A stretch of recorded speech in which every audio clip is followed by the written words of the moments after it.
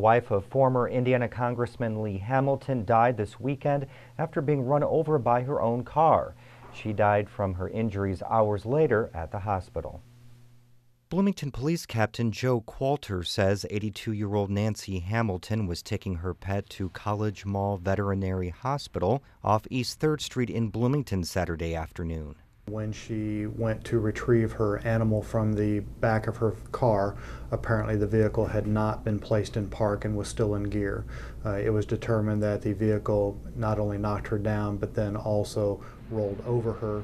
Hamilton was taken to IU Health Bloomington Hospital where she died from her injuries. Monroe County Coroner Nicole Myers says Hamilton suffered massive blunt force to the head and chest.